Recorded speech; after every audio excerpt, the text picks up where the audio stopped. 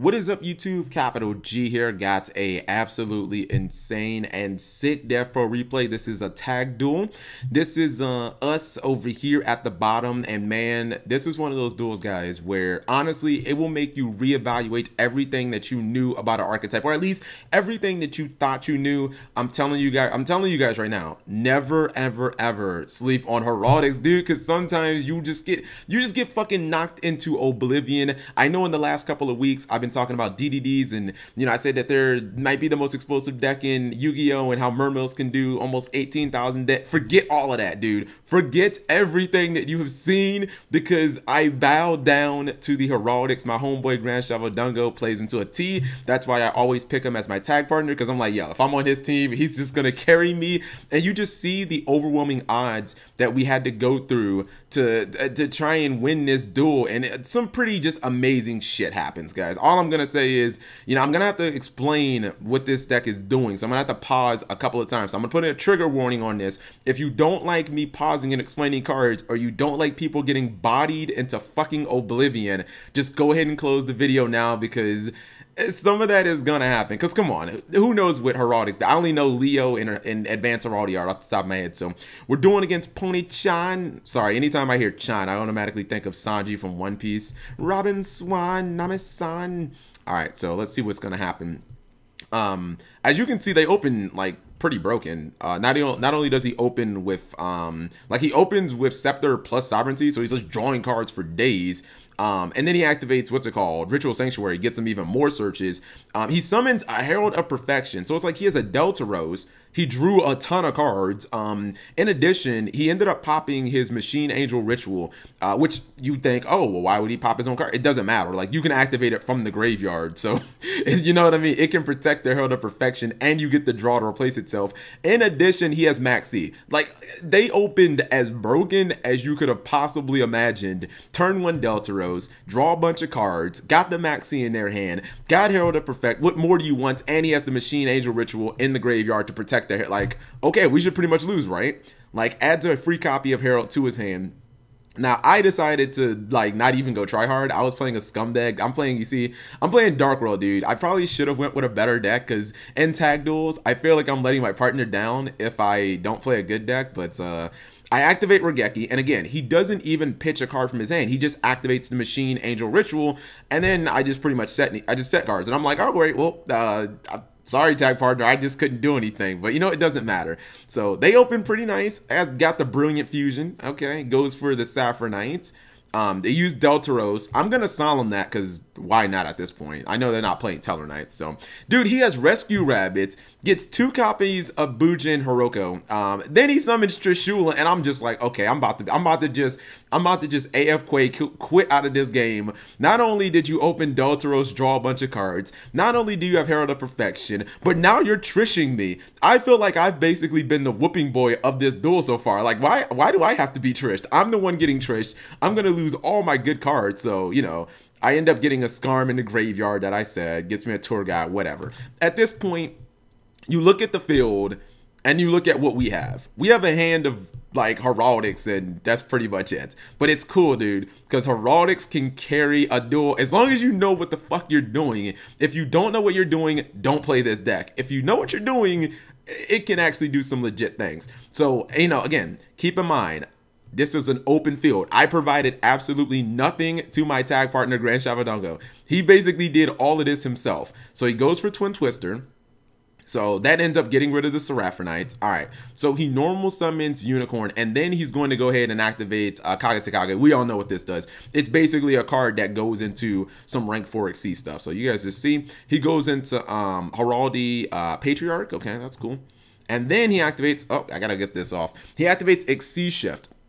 So XC Shift ends up getting you. Uh, XC Shift is kind. It's kind of like a rank up card. Uh, it's kind of like a rank up card a little bit. And he goes into Heraldry Crest, and believe, dude, he's gonna exceed so many different times, guys. It's not even gonna be funny. So he ends up activating Heraldry Crest, and then at the same time, Patriarch is going to summon itself back to the field. That's the tricky thing about that card. Um, he ends up sending i think it was yeah he ends up sending this one to the graveyard whose name um uh, Aberconway. Okay, that's fine. And then he activates her Advanced Heraldry Art. Advanced Heraldry Art is basically if you have two Heraldies in the graveyard, you can summon them, and then immediately after that, you exceed them um using those two monsters only. So it's like oh okay we're getting c plays pretty much for days. And he goes into another copy of patriarch and then he activates exceed gift. And i guarantee you guys this play is actually going somewhere. So this is like the most situational card ever. You literally have to have two face of exceeds and then you detach two from an Exceed monster, and then you draw two cards. But it's cool because uh, we actually had that condition. He top decks an Instant Fusion and another Advanced Heraldry Art. Like those were the two perfect top decks because they both make other Exceed plays. The crazy thing about Advanced Heraldry Art, it's not once per turn, which I, at first when he activated it, I was like, that's not once per turn. That's kind of crazy. He goes into uh, the Numeron Dragon. This card is actually not that great, but it's actually OP in this deck. So you guys will see in a minute. Goes for another copy of Advanced Heraldry Art. This time he goes for the Simple Utopia, goes for Utopia the Lightning. Now, at the point where he activated Instant Fusion, I was like, oh my god, is are, are we actually gonna win right? are we actually going to not only we're not only going to win this duel, but we actually might win this turn. And the thing about an attack duel, Herald of Perfection is a great card in singles, but in tags it's kind of useless because uh the the player what's it called? Like your tag partner has to be playing fairies. Obviously he's not. He's playing like beast warriors and whatnot. So he can't use herald of perfection. He can't stop any of this. That's why i wasn't too afraid of herald of perfection. So we see the instant fusion for the nord that's standard. You guys know that. And then we bust we bust out dark rebellion exceed so now trishula is cut in half. Now how many of you guys knew that dark rebellion exceed dragon was not once returned? Because on the tv show on the anime it wasn't. But you know in real life you have to detach two materials. So you're like okay it's not relevant. You have to detach just wait. Just I've never seen this happen in a duel. So Numeron Dragon was activated.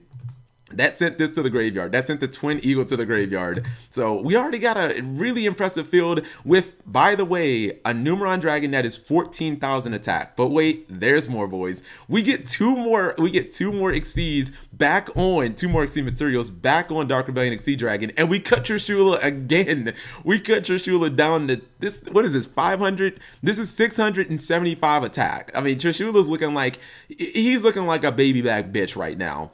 And then on top of that, he activates Numeron's effect. This motherfucker goes up to 16,600 attack. Guys, if you add up our field right now, look, well, let me just show you how much damage he takes. He takes almost 16,000. When we run into Trishula, he takes almost 16,000 damage. They only have 7,500 life points off of that one attack. Obviously, we end up closing the game, guys. I actually did a calculator, or actually, I did a calculator.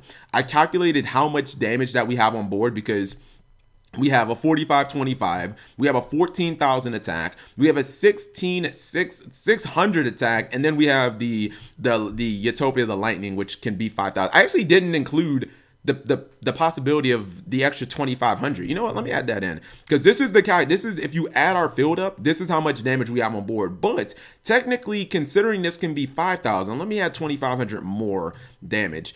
We have a field of a possible let's just say we attacked into a zero attack monster that was in attack position. We could have potentially did guys over 40,000 battle that that is that's the equivalent of winning 5 duels in one turn. And again, this happened in one turn. So guys, remember everything about all those other decks that I just fucking erase that from your memory guys. I crown Heraldics the, the kings of Yu-Gi-Oh. I've never seen this much battle damage. And the crazy thing is, Grand Shabadungo does plays like this all the time. So, you know, dude, when you have a field like this, I literally have no idea how you don't just get OTK'd because it doesn't really matter. Even if you, even if they had like five monsters on board, we still would have OTK'd. We just had too much damage. So, thank you guys for watching this. Always, uh, as soon as I recorded this, I titled it YouTube this because I just knew I was like, this has to go on YouTube. Literally a field of forty thousand damage, like that is insane. Thank you guys for watching as always.